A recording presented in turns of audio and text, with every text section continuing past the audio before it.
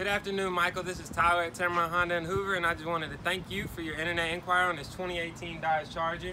As you can see, it is still here, and I just wanted to show you a little bit about the vehicle. It does have a nice, beautiful blackened grille that goes perfect with this white right here, and you do got a great set of huge alloy Dodge 2 rims right here. And as you can see, the tires are like new. They still got the little nubs on them. Here, come on, I'll show you how much space you got in the back seat. As you can see, it sits up to five people, and plenty of room in the back seat for everybody in it. And then you also got your nice 7-inch touchscreen display right here, along with your dual climate control. And you can also turn on the heated seats through the touchscreen radio.